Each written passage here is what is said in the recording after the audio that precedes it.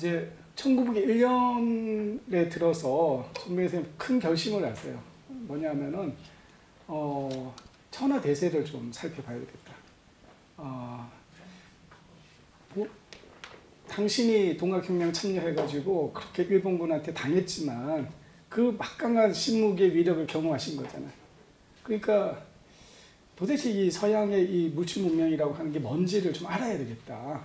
호랑이를 잡으려면 호랑이 굴에 뛰어들어야 되듯이 그래서 처음에는 이 천하 대세를 살기 위해서 미국으로 갈 생각으로 이제 배펜을 알아봤는데 당시에 뭐 그렇게 배펜이 뭐 많지가 않아서 어 바로 가는 게 거의 잘 없는 거예요. 그래서 어 일본의 오사카를 일단 가서 거기서 이제 훨씬 배펜이 많으니까 거기는 그래서 이제 일본을 가게 됐어요.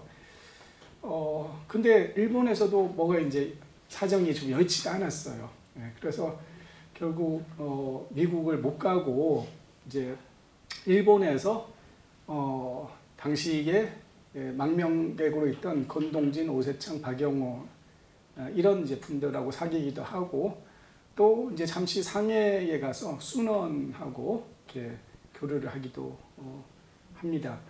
어, 저거와 관련된 또 일화가 하나 남아 있는데요. 순원이 이제 저녁에 만찬을 이제 준비해서 어, 이제 여러 사람들을 뭐 수십 명 이렇게 초대를 한 그런 이제 그 모임에서 그러니까 이제 테이블당 이렇게 아마 뭐 한 여섯 일곱 명씩 이렇게 둥근 중국은 주로 이제 이렇게 둥근 테이블에 이렇게 여섯 일곱 명씩 이렇게 해서 뭐 수십 개 테이블이 이렇게 있는 이제 그런 연회장인데 어 뭐 맛있는 것들이 막 엄청 이제 차려져 있고 근데 이제 순원이 이제 어 이렇게 인사말 하고 하면서 시간이 이제 꽤 길어졌는데 아무도 이제 그 음식을 들 생각을 못 하고 다 이제 그냥 숨죽이고 이제 예, 이렇게 기다리고 있는 거죠. 그런데 저기 테이블에 어떤 청년이 닭다리를 하나 탁 잡더니 그냥 그래서 이 그 빼갈 있잖아요. 백주를 그냥 그냥 하나를 완샷 하면서 또 닭다리를 쫙 그랬더니 수런이 그걸 딱 보고 아 여기 진정한 대장부가 한 명 계시는 거예요. 이러면서 엄청 이제 에, 그 높게 에, 평가를 했다라고 하는 이제 일화가 또 전해 옵니다. 아무튼 이제 그렇게 에, 일본에서 주로 오사카 쪽 주변에서 이제 있었던 것 같은데요. 그러면서 이제 일본이 얼마나 어, 그 강화도 그러니까 그 저기 메이지 유신 이후로 어, 서양 문물을 받아들여서 급속도로 이렇게 성장하고 있는지를 이제 눈으로 다 확인하는 거죠. 예. 그러면서 아 이렇게 서양이라고 함부로 이렇게 할 게 아니고 또 배워야 될 건 배워야 되는구나.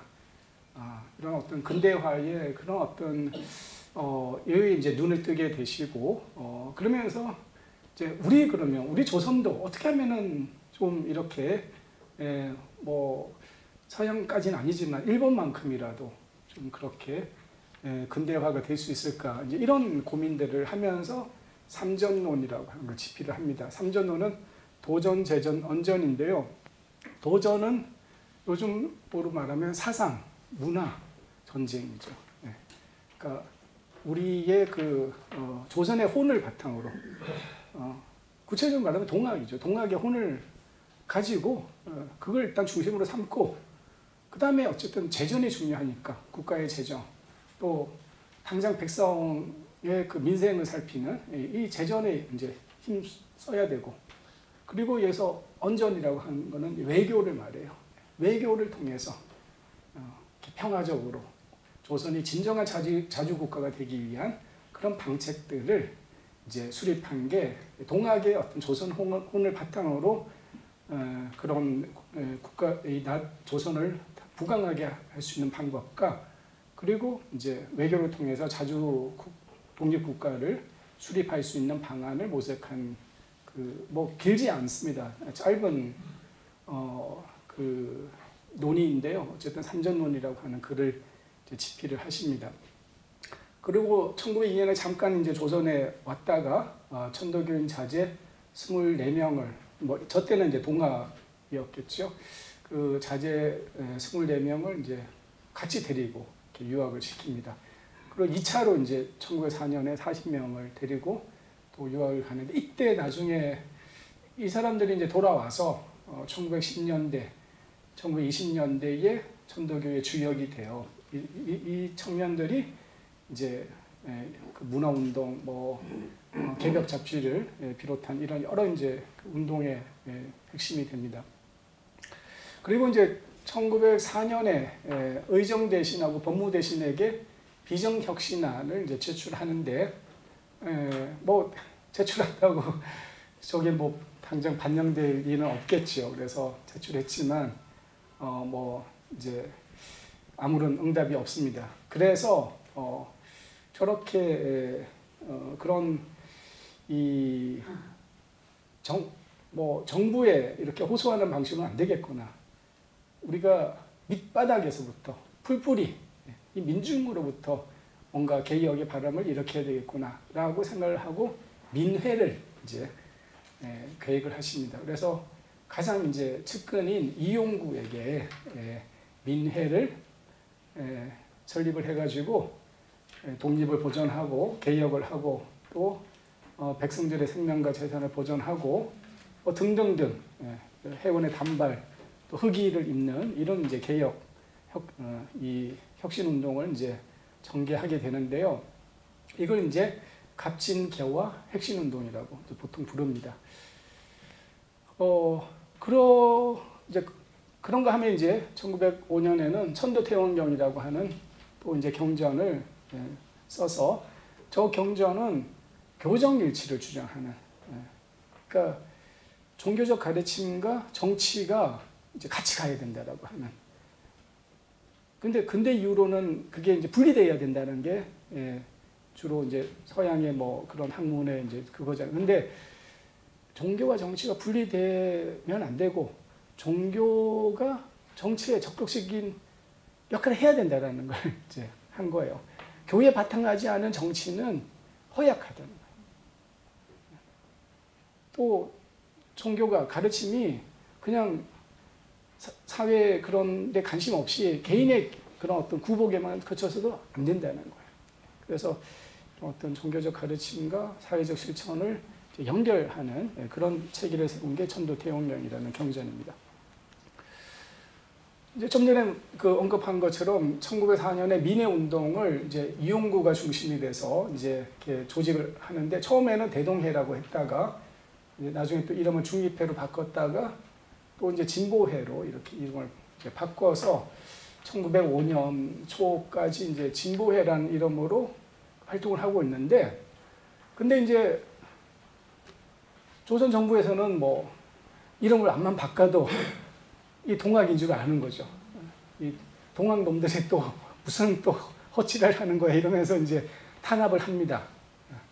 그 아까 그런 여러 이제 민해 활동을 하는데 또 정부에서 뭐 관군들을 데리고 여기저기서 이제 막 이렇게 예, 이 탄압을 하고 곳곳에서 그래서 이제 이렇게 희생자가 나, 나오고 저기 뭐 환경도 험천 땅에서는 뭐 수십 명이 이렇게 예, 그 물에 빠져서 죽는 예, 강군에게 모살당하는 이런 일들도 일어나고 해요.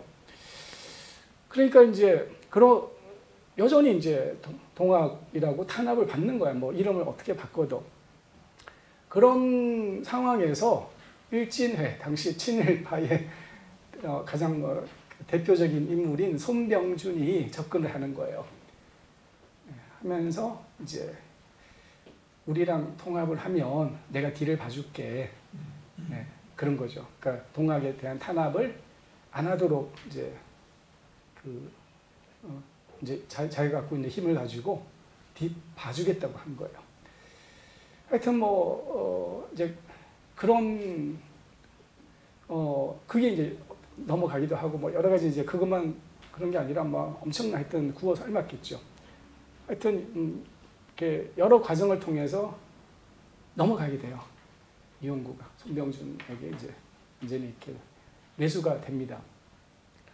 어, 그래서 진보회와 일진회가 합치게 돼요.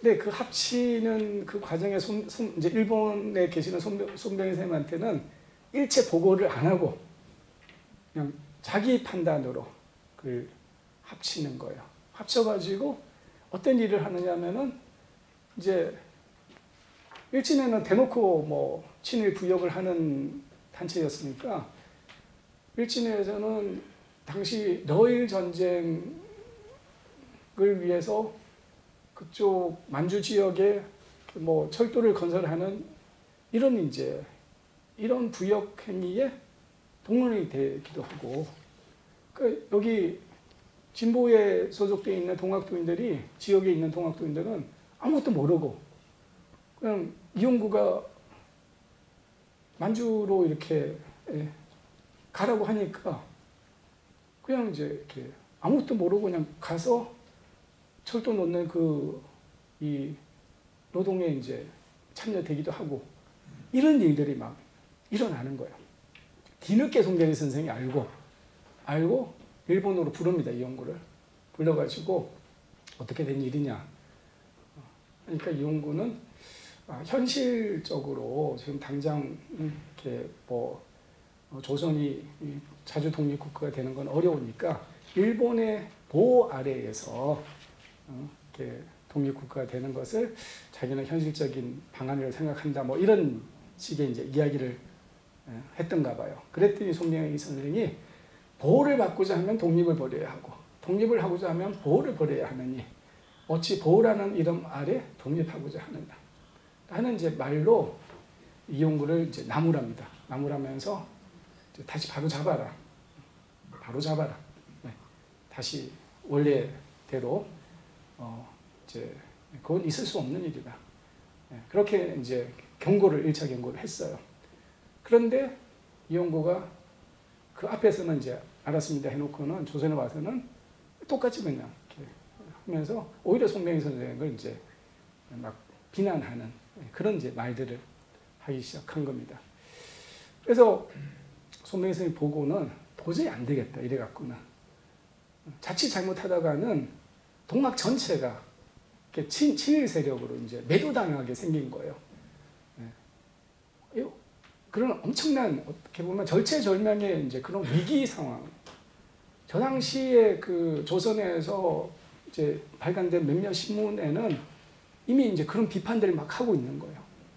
동, 동학 도인들이 막 친일하고 있다고 막 이런 이제 신문 기사들, 비판 기사들이 막 그때 나오기도 하고 그럽니다. 그러니까 손명희 선생님이 도저히 이제 일본에서 또 이제 그, 그런 소식이 들리니까 도저히 안 되겠다. 그래서 어 이제 이걸 위해서라도 뭔가 대대적인 어떤 개편이 불가피하다. 그리고 동학이라고 하는 이름으로는 암만 해도 탄압을 피할 길이 없는.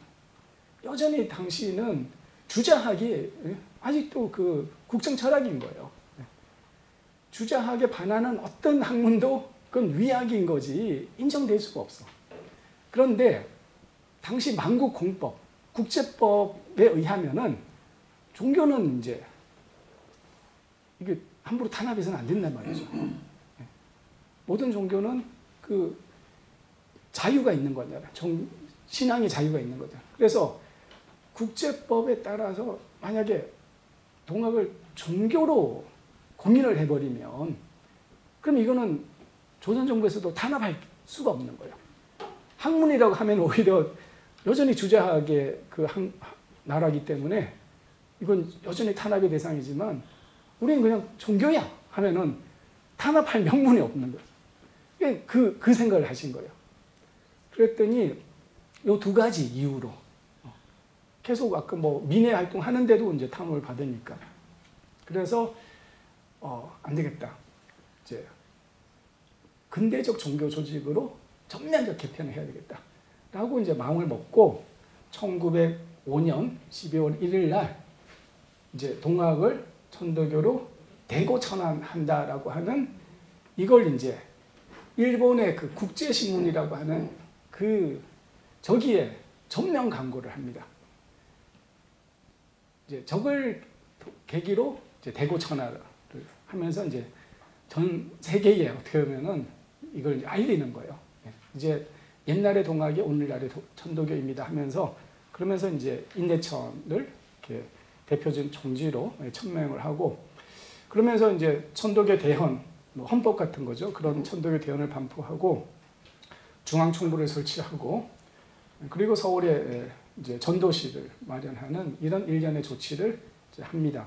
손민 선생은 12월 1일 날 이제 대구 천하하고 그리고 이제 그 다음 해 1월 6일 날 부산항을 통해서 이제 귀국을 하시, 하셔요. 하시고 이제 일본에 그동안 한 5년 동안의 생활을 완전히 청산하고 그리고 이제 서울로 와서 저기 이제 중앙총부를 설치하면서 이제 그런 어떤 예, 개혁 조치를 이렇게 실행을 하는 겁니다.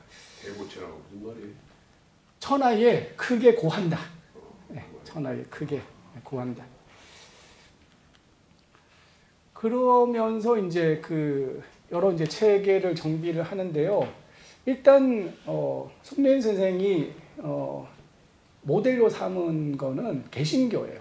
개신교의 그런 어떤 조직과 어, 의례를 많이 좀 수용을 해가지고 어쨌든 불교보다는 이제 서양의 그런 어떤 그런 것들을 좀 하다 보니까 어, 이 카톨릭은 또 너무 이렇게 미사가 복, 이런 의례들이 복잡하고 하니까 이제 개신교가 가장 좀 감명하고 그래서 개신교의 의례를 이제 받아들여. 그래서 설교를 중심으로 하는 그 앞뒤로 이제 그 천독송이라고 해서 이제 노래를 부르고 하는 이런 이제 방식의 시일식, 예, 시일. 그걸 이제 기독교에서는 이제 주일이라고 하잖아요. 예, 그걸 모시는 날이라고 해서 시일식을 마찬가지로 일요일 날 11시에 이제 그 1시간 정도 하는 시일식을 하고 그리고 이제 성미 제도를 도입을 합니다. 성미는 이제 일종의 성검이죠.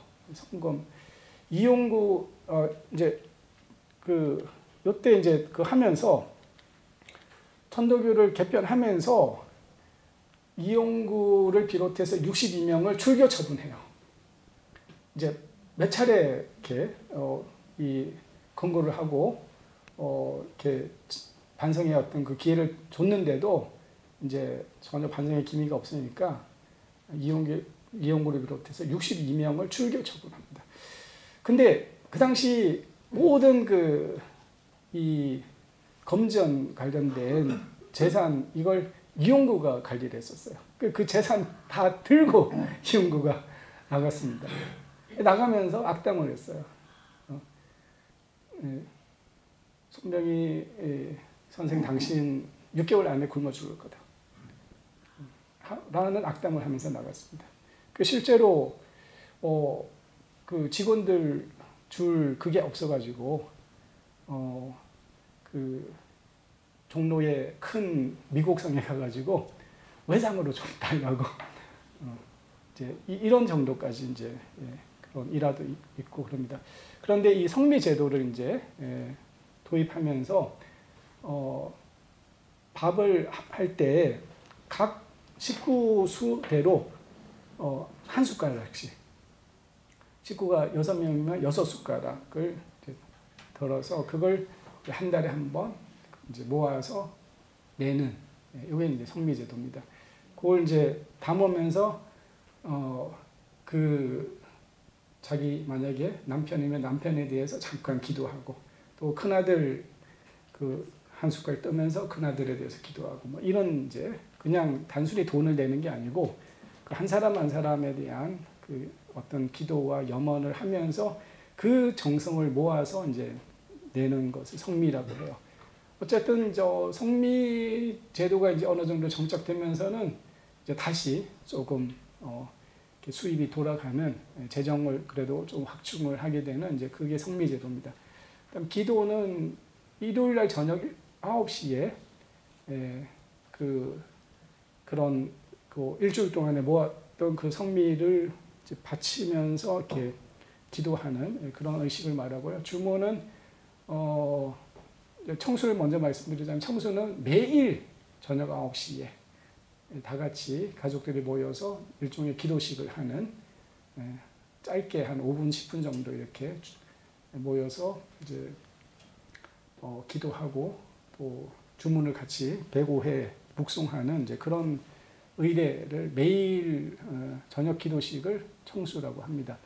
주문은 특정한 시간을 정해서 어, 그 뭐 일주일이든 21일이든 49일이든 이렇게 특별한 에, 그런 어떤 이그 해우 선생님이 늘 49일 기도를 하셨잖아요. 네, 그렇듯이 어떤 특정한 목적을 가지고 이렇게 또 기, 기한을 정해서 최소 기한은 보통 이제 일주일, 일주일 21일, 49일 이렇게 하는데 예, 그렇게 하는 것을 이제 주문이라고 합니다. 그래서 이 다섯 가지를 예, 이게 이제 의례인 거죠. 예, 전도교의 의례로서 이렇게 정립을 하고요. 그런데 이제 이 당시 손명희 선생은 교세학장보다 어, 교세학장보다 우리는 보국안민의 종교다. 어, 그래서 우리가 이 시대에 어떤 음, 소명을 담당해야 되는가? 늘 이제 중앙총부 직원들하고 이렇게 예, 직원들 앞에서 아침 조회를 한다거나 이렇게 할 때 늘 그 말씀을 하셨다 그래요. 교회 성장이 우리 목적이 아니다.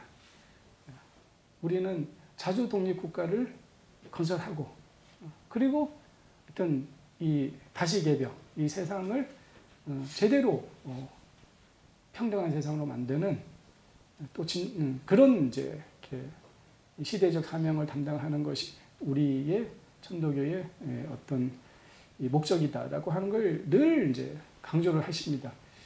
그게 오늘날에 이제 조기주 선생이라고 그 어, 그분이 쓰신 동학의 원류 뭐 이런 책을 보면은 손명희 선생님이 그렇게 말씀하신 것들이 이제 담겨 있는데요. 그걸 보면은 아, 이분은 정말로 예, 교회 교, 교회 교회 성장 너무 신경 쓰지 말라는 거.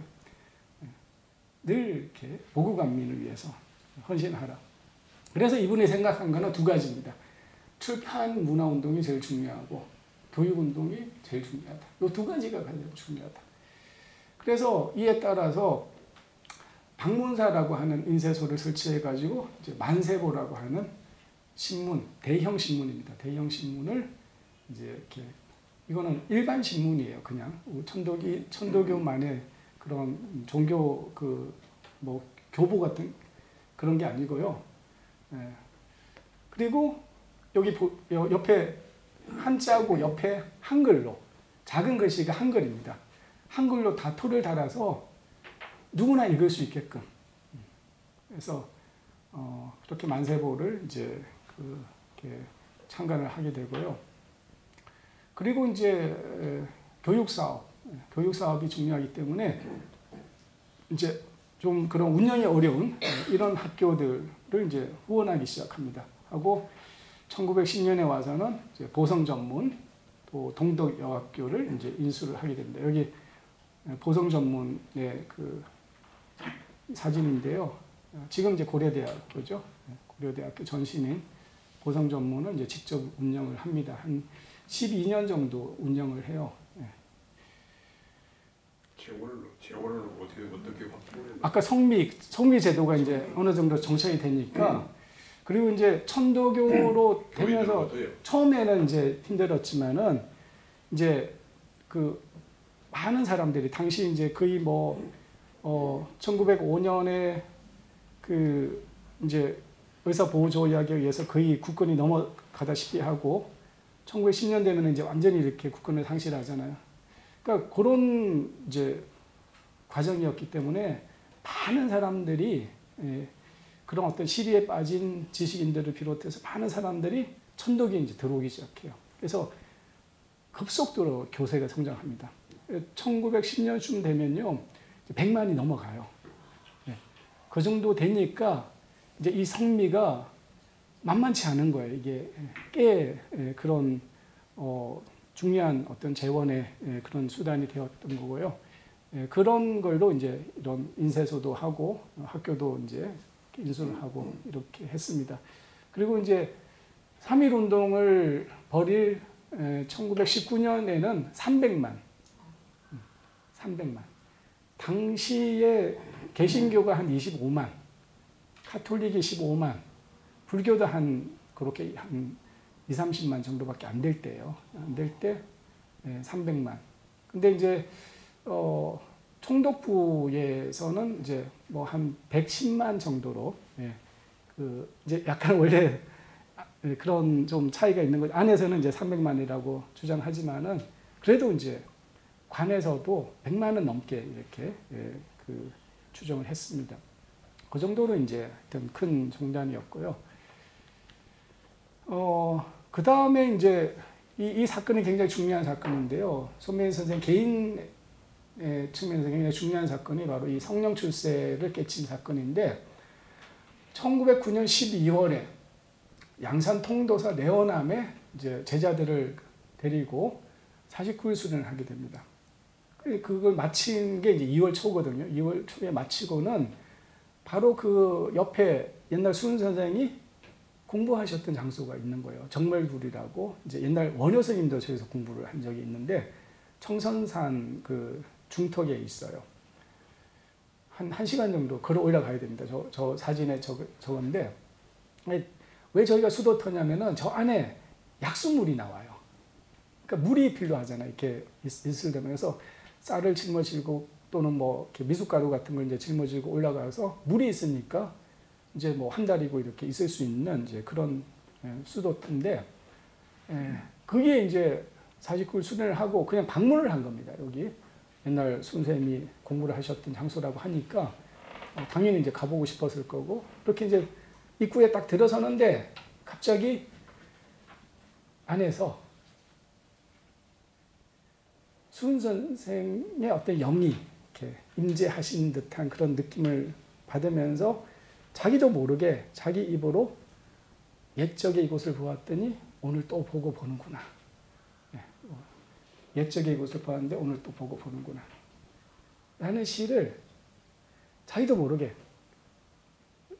손매쌤은 전혀 의식을 안 하고 있는데 그냥 이렇게 그런 말이 툭 나오더라는 거예요. 그러니까 이제 수능생이 현신하는 예, 그런 이제 체험을 하는 겁니다.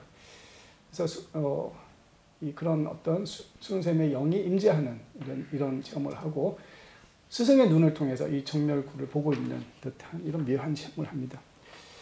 그러고 나서 아 이게 무슨 어떤 의미지라고 이제 예, 그때 이 시가 어, 옛적의 이곳을 보았는데 오늘 또 보고 보노라. 어디서 온 인물인가? 본래 나의 성품이네.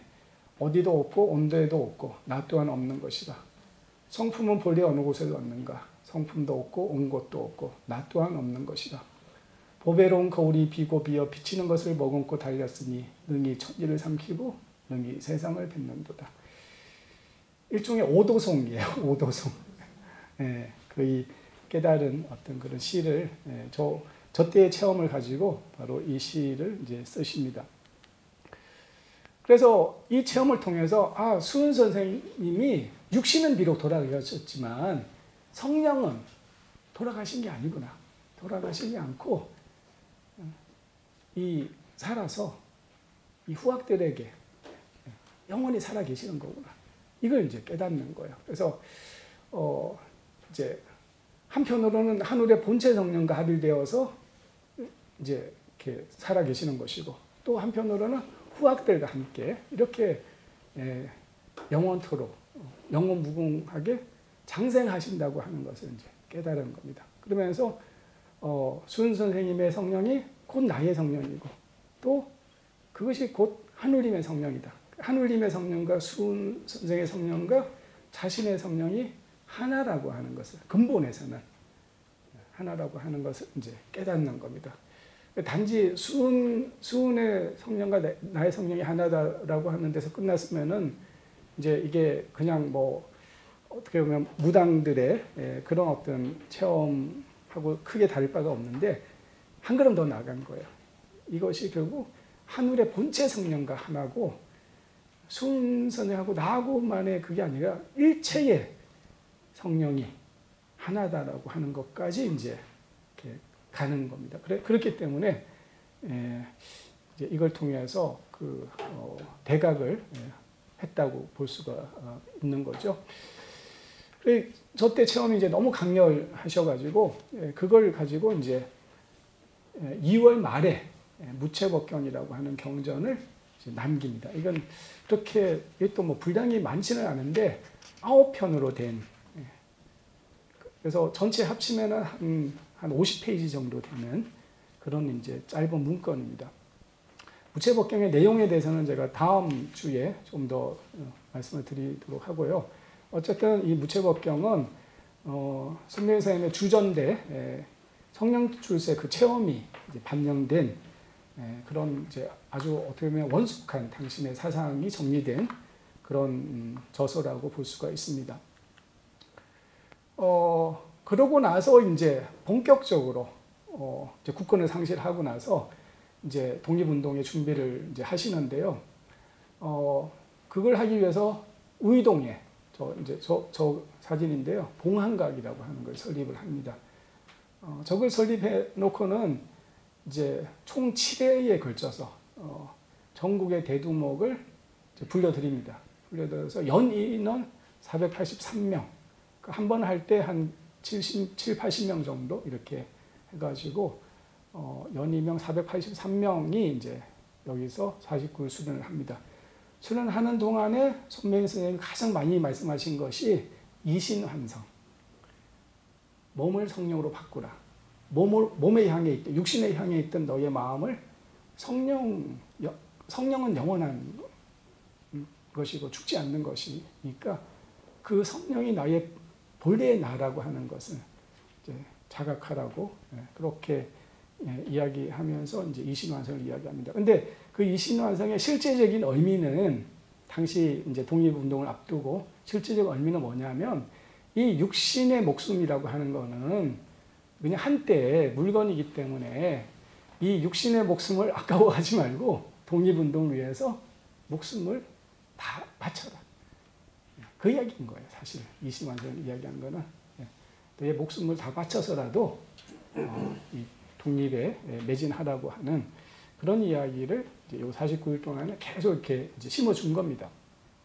그 이, 이, 이분들이 다 이제 지방의 대두목들이란 말이죠. 지방의 조직을 가지고 있는. 그래서 이때의 그 지방 조직이 이제 나중에 3.1 운동 때 요게 갖춰졌기 때문에 모든 전국 그 지역에서 이렇게 이제 일어날 수 있었던 것도 바로 이때의 힘이라고 볼 수가 있습니다. 그런가 하면 이제 독립 자금을 마련하기 위해서 이 대교당, 요 지금 저기 안국동에 있는 예, 그 대교당 그 인사동 바로 옆에 있습니다. 그 대교당을 신축하겠다라는 구실로 성금을 이제 모금을 합니다. 그렇게 해서 100만 원 조금 넘게 거쳤대요. 그 100만 원이 오늘날에 어느 정도 될지 이제 뭐 진작은 안 가는데 적어도 100억은 넘는 돈일 거예요. 어, 그 중에서 27만 원으로 건축 그 이렇게 비용이 27만 원 들었다고 하니까 27만 원, 100억, 27억, 27억 더 되겠다, 그죠? 100억 더 되겠다. 어, 이 정도 치려면 27억은 더 들으니까 요, 정도 한 100억은 들지 않겠어요? 그러면은 하여튼 뭐, 예, 그, 어, 그때 100, 100 만 원은 100억은 더 되는 것 같습니다. 근데 그 27만 원으로 이 건축 성금을 하, 건축 기금을 하고 나머지 한 80만 원 정도를 어디에 썼느냐? 상해 임시정부하고 그 해외에서 독립운동하는 분들한테 보내요. 이게 이제 오늘날의 또 자료로 지금 이제 그게 또 밝혀지고 있습니다. 그래서 김구 선생이 이제 그 해방 이후에 45년도 아마 11월인가 12월에 이제 이렇게 귀국을 하시는데 제일 먼저 어디 가시는지 아세요? 귀국해가지고 손민희 선생 묘소를 가요. 제일 먼저. 왜냐하면 손뱅이가 없었다면 천도교가 없었고 천도교가 없었다면 상해 임시정부도 없었습니다. 그랬다면 3.1운동도 없었습니다. 그걸 이제 그 다음날 요 천도교 대교당에서 기자회견, 이제 기국 기자회견을 요즘은 뭐 명동성당, 이제 한때 명동성당이 그거였죠. 요때는 다 요 대교당에서 중요한 행사들은 다 여기서 합니다. 해방공간 때도 마찬가지고요. 이때 제일 큰 건물인 거예요, 서울에서. 그래서 김구 선생이 이 건물에서 이제 기, 기자회견하는데 금방 그 이야기를 하신 거예요. 손병희 선생이 없었다면은 상해 임시정부도 없었습니다. 예, 그랬기 때문에 예, 이제 제일 먼저 이렇게 여수 방문하신 거고요. 어쨌든 그런 준비들을 이때 하십니다. 예, 그리고 이제 3.1 운동을 기획하시는 요 이게 봉황각 요, 저, 요 안에 아까 제가 그 이야기한 데가 여기입니다. 여기에 이제 여기에 아까 그 수메센 아주 크다란 예, 사진이 이제 예, 있었는데 저 안에서 지금 음, 그, 이, 그 각계각층의 예, 지도자들이 어, 그 모의를 하고 있는 장면입니다. 그래서 어, 송명인 선생을 비롯해서 당시 이제 체린을 비롯한 이런 천도계 인사들이 주도적 역할을 하면서 이제 3.1 운동이 계획되는데요. 어, 지금은 이제 뭐 이렇게 개신교가 자기들이 숫자가 한 명 더 많으니까 자기들이 이제 주도한 것처럼 이렇게 이제 이야기되기도 하고 어, 뭐 서로 이제 입장에 따라서 또 뭐 누가 더 그 기회를 많이 했다 이런 이제 논란들이 있는데 에, 조선 총독부 경무국에서 나온 요, 요, 요 문건입니다. 요 문건에 보면은 천도교가 3.1 운동의 준비와 초기 단계에서부터 주도적 역할을 수행한 독립 소요의 중핵이다라고 딱 정확하게 표현되어 있습니다. 독립 운동이라고 표현 안 하고 소요, 소동 이제 폄하해서 말하는 거죠. 어쨌든 독립 소요의 중핵이라고 딱 네, 명시를 합니다. 그래서 사실 이 이후로 아주 조직적인 탄압을 합니다. 천도교를, 총독부가. 그 중에 하나가 밝혀진 사실이 어 이제 아까 실 본다 그랬잖아요. 매주 어 일요일 날 11시에 그 실식을 못 보도록 순사 두 명이 지키고 섰다가 60살 넘는 사람만 넣어주고 60살 안 되는 사람은 못 들어가겠다는 거예요. 그러니까 대를 끊으려는 거예요. 신앙의 어떤 대를 끊기 위해서 그런 종교 신앙의 어떤 그런 자유까지도 어, 이렇게 제한을 하면서 그런 탄압을 했고 그리고 독립 독립 그 이, 이걸 인쇄했던 독립선언서 인쇄했던 보성사 그것도 바로 불태워버리고 이런 여러 가지 이제 합니다. 그래서 어쨌든 이때 그 동, 어, 3.1 운동에 참여했던 핵심 세력이 바로 동학혁명에 참가했던 지도자이기도 해요. 그래서 3.1 운동은 바로 독립, 저 동학농민혁명을 직접적으로 개성한다고 볼 수가 있습니다. 그리고 이제 어쨌든 뭐 잘 아시다시피 각계 독립운동을 하나로 결집을 했던 거고요. 또 천도교가 가지고 있는 그 전국 조직을 이용해서 시위를 조직하고 운동 자금, 독립선언서 작성과 인쇄 모든 걸 이제 천도교가 책임을 집니다. 이때 개신교에서 참여했던 이성훈 선생이 아, 우리가 자금이 없어서 이렇게 동원하기 어렵습니다 하니까 손민 선생이 바로 그 금고에 있는 돈 5천 원을 바로 그냥 예, 그 이성훈 선생한테 주면서 이걸로 우선 여비를 하시라고. 그 5천 원이 요즘 한 5억 정도 어, 되는 돈이라고 합니다. 그걸 어쨌든 그런 운동 자금도 이제 천둥에서 나오는 거고요. 그리고 이제 그 전날 참 막 이제 인쇄하고 있는데 고성사에서 인쇄하고 있는데 그 순사가 한국인 순사가 뭔가 수, 수상해가지고 이제 3월 1일 전날 이제 2월 28일인가 그때 순사가 이제 보성사를 덮친 거예요. 그랬더니 이제 독립선언서가 그 인쇄되고 있는 걸 그게 발각이 됩니다. 그래서 이 순사가 이제 가서 이걸 알려야 되겠다고 하는데 그걸 이제 잠깐 좀 있어 보라고 당시 이제 그 보성사 사장이 이종일이라고 하는 사장인데 잠깐만 계시라고 하고 손매생한테 뛰어가요. 뛰어가가지고 아 이런 일이 큰일 났습니다. 이런 일이 생겼습니다. 그랬더니 손매 선생이 또 금고에서 5천 원을 꺼내서 이걸 좀 주고 무마를 좀 해보세요. 그래가지고 그걸 들고 그 한국인 순사니까 다행히 그래도 당신도 한, 조선 사람 아니냐 이것만큼은 좀 눈 감아주라. 요거 가지고 저기 좀 만주로 가서 당분간 좀 이렇게 있다가 오시, 오시라. 그래서 그래도 그 조선 순사는 그 이제 이렇게 예, 받아들여 가지고 그래서 그 뒷날 어쨌든 무사히 3.1 운동이 예, 펼쳐지는데도 또 이제 그런 여러 에피소드들이 있습니다. 그래서 이제 그런 작성과 인쇄도 어, 청도교가 했고요. 어, 하여튼 뭐 그런 어, 그래서 이제 3.1 운동은 당시 3.1 대혁명 김구 선생을 비롯한 그 상해 임시정부의 문건들을 보면요. 다 3.1 대혁명이라고 기록되어 있어요. 그 프랑스 대혁명만 대혁명이 아니고 예, 3.1 운동도 사실상 대혁명이었다. 어, 그렇게 봐야 될 것 같습니다. 왜냐하면 실제로 임시정부 수립으로 이어졌거든요. 예. 그래서 어, 그렇게 봐야 될 것 같고요. 어, 그런가 하면 3.1 운동은 개벽 운동이기도 했어요. 왜 그러냐? 독립선언서 마지막 문구인데요. 아, 신천지가 안전에 전개되더라. 위력의 시대는 거하고 도의의 시대가 레하도다. 과거 전 세계의 연마 관련된 인도적 정신이 바이어흐로 신문명의 서강을 인류의 역사에 투사하기 시하도다. 위력의 시대는 가고 도의의 시대가 이제 온다는 거예요. 그래서 신문명의 서강을 이제 여기서 비추겠다라고 하는 독립선언서인데 왜 신문명 이야기가 왜 나오냐고. 어?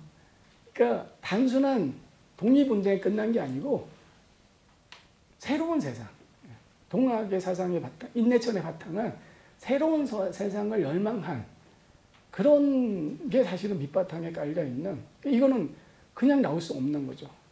이거는 이제 동학의 그런 어떤 다시개혁의 정신, 이게 동학 농민 혁명을 통해서 발현됐던 그것이 역시 3.1 운동에도 반영이 되는 그래서 3.1 운동은 문명 전환 운동이었고 그런 점에서 어, 개벽 운동이었다 이렇게 볼 수가 있습니다.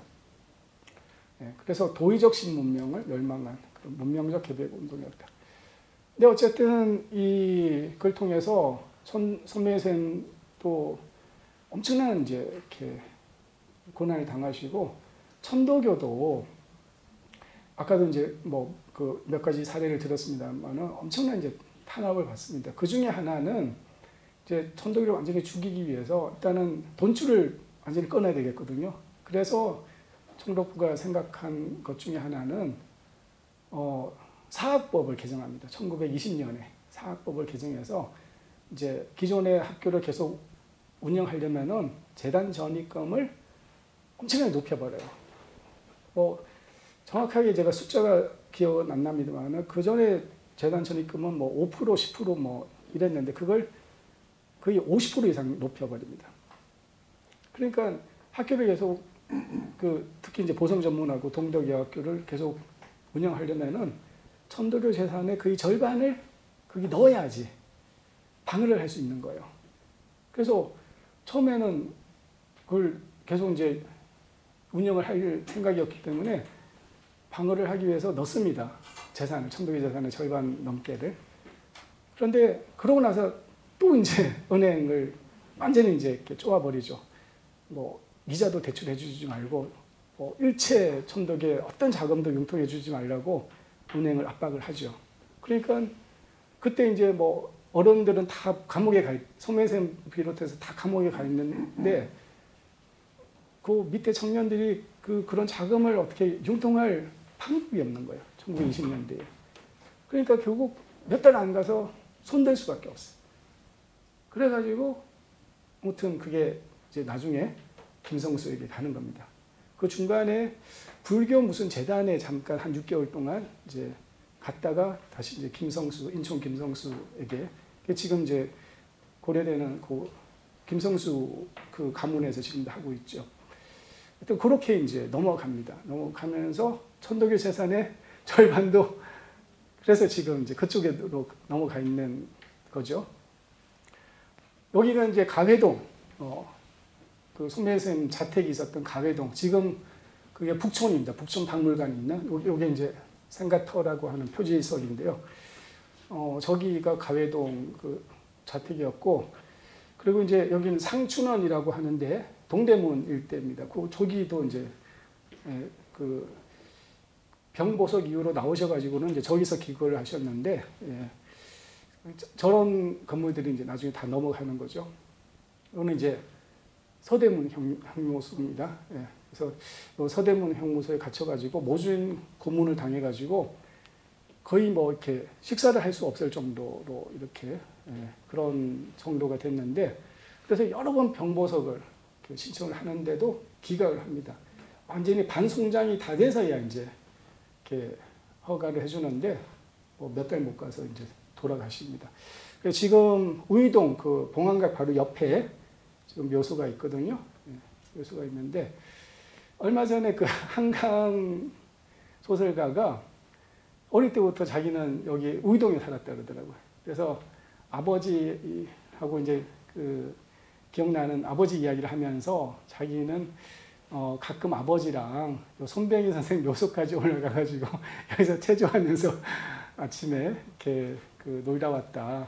그 이야기를 인터뷰하는 걸 제가 드, 들었습니다. 그래서 아, 이렇게 요 근처에 사셨구나 한강 선생이 그런 어, 요 전망이 굉장히 좋아요. 여기서 요 앞에가 훤히 이렇게 내다 보이는 굉장히 어, 그런 저기 5월 19일로 하라고 이 교재는 6월 2일로 됐고 어떤 게 맞는 거예요? 아 5월 19일이 맞는 것 같습니다. 6월 2일은 그 오타 같습니다. 오타. 예, 그거는 해원 선생이 돌아가신 예, 그, 그게 6월 2일입니다. 그 제가 쓰면서 잠깐 착각했나 봐요. 그 해원 선생 그거라. 그렇게 예, 되- 됐습니다. 하여튼 어, 어, 손명 선생님의 평생 문제 의식은 바로 보국 안민이었다. 어, 그렇게 좀 요약을 할 수 있을 거고요. 근데 이제 그것만 갖고는 다 설명할 수 없다. 그건 또 하나가 저는 손명 선생님은 그런 어떤 진리에 대한 예, 그게 굉장히 강했던 분 같아요. 예. 그걸 이제 동학적 용어로 하면 성신 본체라고 하고 또 뭐 대도 견성, 포덕천하 이렇게 표현을 하는데 예, 전통적인 표현을 하면은 인간 완성이고 천인 합의인 거죠.